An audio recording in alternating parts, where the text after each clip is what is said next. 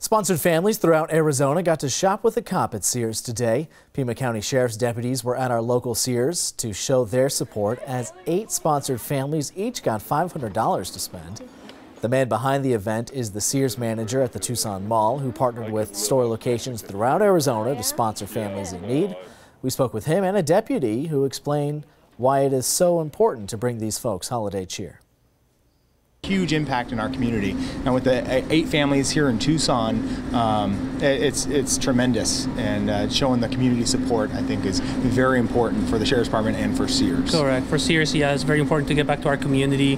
Uh, it's something that we look forward to doing with not only the Pima uh, Sheriff's Department, of course, but with the rest of our community here in Tucson.